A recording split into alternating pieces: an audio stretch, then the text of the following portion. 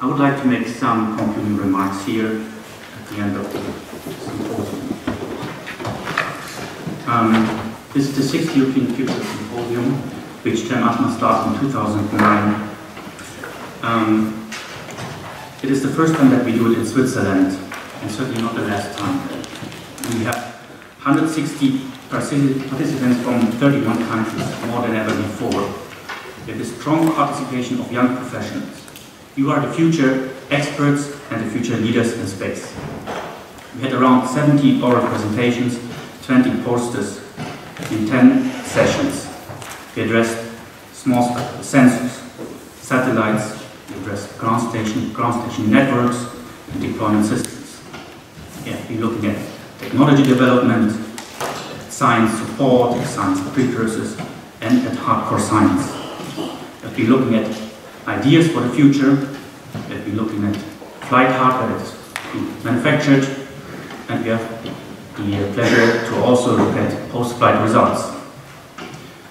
Um, also, the industrial exhibitors had a big contribution to the success of this symposium. This was the sixth one, and this speech is the conclu conclusion of the sixth symposium.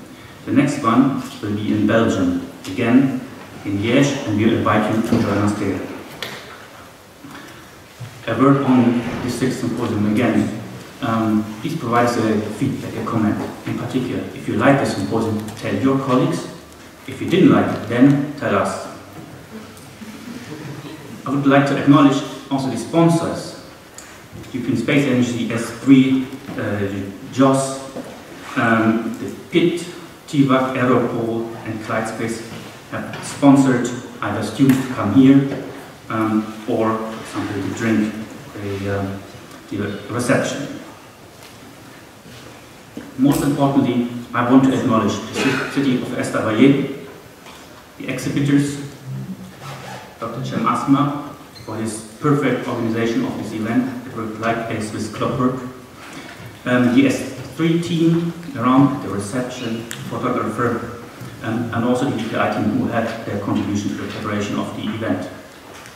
I want to the chairman for leading the sessions. Very important, the presenters, and also you here, the participants. Thank you very much.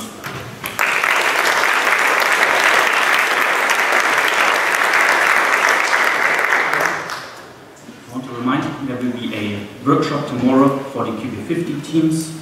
Um, and with this, I would like to already conclude um, this symposium will, uh, Pascal Jaussi, the CEO of SU, will give some words before we then also have some, to get some additional information, practical information for the workshop tomorrow. And after all that, I would like to welcome you at the, at the goodbye drink sponsored by Clyde.